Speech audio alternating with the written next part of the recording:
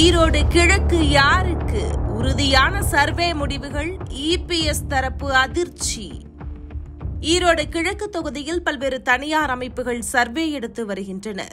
அதன்படி ஆளும் கட்சியான திமுக தங்களுக்கு கடந்த தேர்தலில் பணியாற்றிய மூன்று குழுக்கள் மூலம் தனித்தனியாக சர்வே எடுத்திருப்பதாகவும் மேலும் மாநில உளவு அமைப்புகளும் சர்வே எடுத்து அதன் முடிவுகள் சேர வேண்டியவர்களிடம் சேர்க்கப்பட்டிருப்பதாக கூறப்படுகிறது.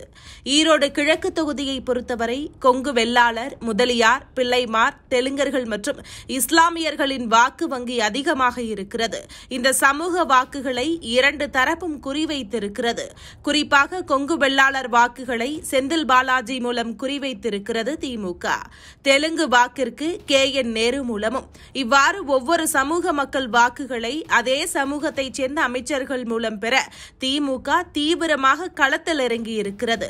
இவை தவிர்த்து காங்கிரஸ் வேட்பாளர் வெற்றி பெறுவதை தாண்டி வேறு எந்த கட்சியும் டெபாசிட் எடுக்கக்கூடாது என ஸ்டாலின் உத்தரவு போட்டிருப்பதால் அமைச்சர் அமைச்சரவை எந்திரம் முழுவதும் ஈரோடு கிழக்கு இடைத்தேர்தலில் களமிறங்கி இருக்கிறது இந்த சூழலில் தனியார் சர்வே முடிவுகள் காங்கிரஸ் கட்சியைச் சேர்ந்த இளங்கோவன் நிச்சயம் வெற்றி பெறுவார் என்றும் அதே நேரத்தில் இரட்டை இலை சின்னத்தில் போட்டியிடும் வேட்பாளர் டெபாசிட் வாங்குவார் என்றும் குறிப்பிட்டிருக்கிறார்கள். மாநில உளவு அமைப்புகளும் அதே தகவலை கொடுத்திருக்கிறார்கள்.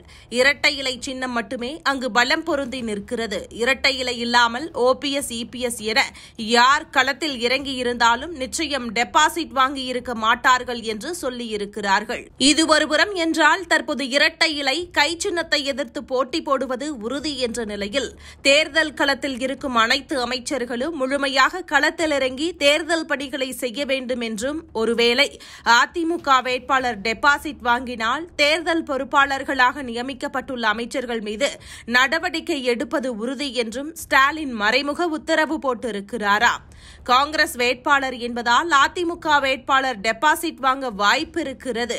இதுவே திமுக வேட்பாளர் உதயசூரியன் சின்னத்தில் நின்றிருந்தால் நிச்சயம் அதிமுக வேட்பாளர் டெபாசிட் இழப்பார் என்று புலம்பி வருகிறார்களா?